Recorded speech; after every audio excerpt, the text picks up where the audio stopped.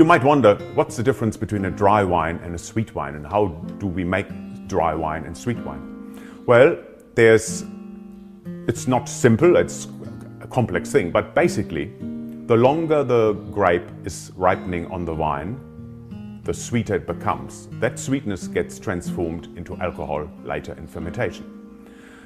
You then have some varieties which we call the late harvest, you might have seen those, which are harvested really, really late in May or even June. They then have ferment alcohol to 8, 9, 10%, but they're so sweet that not all the sugar can turn into alcohol. And you have a residual of sweet wine, a dessert wine then that way.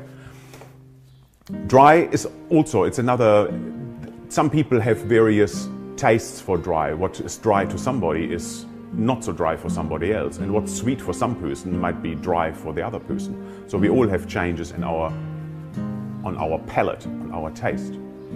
Uh, more traditionally, you will have Chardonnay and Sauvignon Blancs dry, and other varieties invite themselves more to be sweeter, such as Riesling or Semillon. Then again, you can have Semillon dry.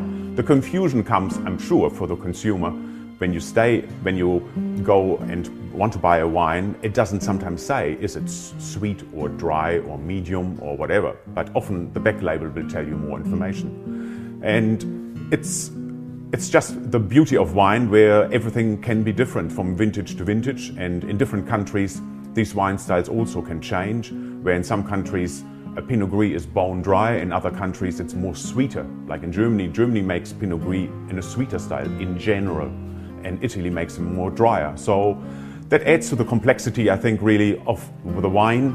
And you just have to try more wine and find out what they taste like.